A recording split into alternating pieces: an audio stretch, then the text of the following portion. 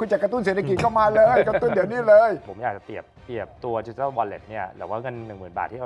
ทุกคนกำลังจะได้เนี่ยเหมือนเป็นดิจิทัลคูปองมากกว่า เป็นคูปองอ่าเขาพูดเล่นจริงแล้วไม่รู้ไม่ซื้อเดือดำน้ำมันโยกได้ไหมล่ะอะมันจะมีคำถามว่าไม่ซื้อได้จริงเหรอใช่ไหมฮะไปเพราะว่าไปวางมันดาวไว้แล้วนี่มันสลายขั้วไปแล้วอะอ๋อใช่ไหมฮะใช่ไหมฮะเพราะฉะนั้นเนี่ยมันจะมีใช่หลายใช่เรื่องมันมันมันก็จะยาก ไม่มีนักการเมืองคนไหนกล้าพูดหรอกใช่ว่าก็อะไรบอกที่จะหายไปถูกไอ้ที่จะให้ถูกคุณถูกเนี่ยจะพูดจะบอกย้ำแต่ว่าแล้วย้ำจะได้อีกอะไรแต่ซื้อเสียไปไม่บอก ถ้าจะเอา